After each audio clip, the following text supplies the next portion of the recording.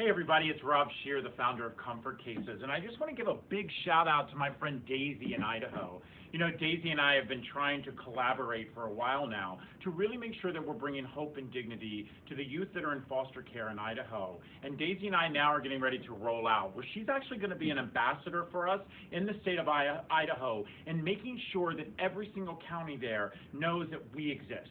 The Comfort Cases is here, and we have cases and Comfort XLs to make sure that the transition of kids going into the system is more than just a trash bag. Once again, visit comfortcases.org and see how you can impact your community. Thanks, Daisy.